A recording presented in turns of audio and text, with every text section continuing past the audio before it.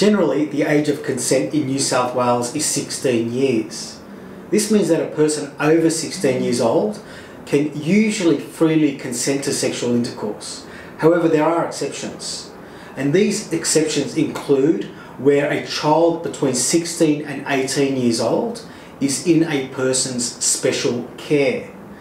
Section 73 of the New South Wales Crimes Act says that such a person cannot consent to sexual intercourse. The maximum penalty for sexual intercourse between 16 and 18 in special care is 8 years imprisonment if the person is 16 to 17 years old, or 4 years imprisonment if they are below 18 years old. It is what's called a strictly indictable offence, and this means that it must be decided in a higher court, such as the district court. It cannot be decided in the local court. To be found guilty, the prosecution must prove three things beyond reasonable doubt. The first is that you had sexual intercourse with another person.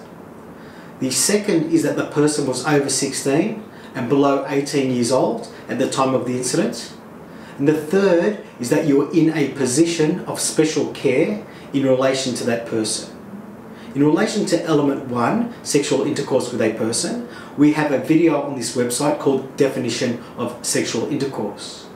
In relation to element two, that the person was aged over 16 and below 18, to be guilty, you must have what's called knowledge of age. That means the prosecution must prove beyond reasonable doubt that you knew the other person was under the age of 18 or that you were reckless as to whether or not the other person was under the age of 18 or that you had no reasonable grounds for believing that the other person was under the age of 18. The third element is that you were in a position of special care in respect of the other person.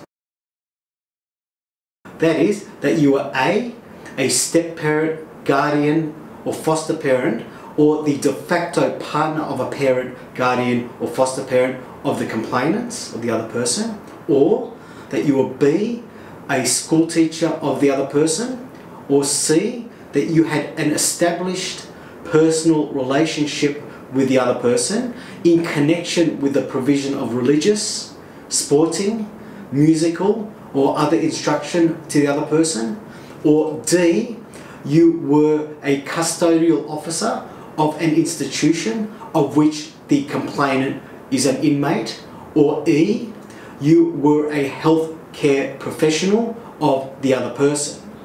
The exception to the rule is if you are married to the other person, the complainant. If you are guilty of the offence, the sentencing statistics for the charge of between 16 and 17 years of age are that 62% received what's called a suspended prison sentence. This is essentially a good behaviour bond which would likely lead to a prison sentence if it were to be breached. 38% received a prison sentence and the average prison sentence was a three and a half year full term with an 18 month non-parole period.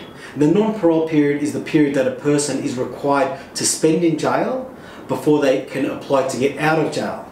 For the offence of between 17 to 18 years of age, there were only two recorded cases, one of which obtained a good behaviour bond and the other of which obtained a prison sentence of a 12 month full term and a 6 month non parole period.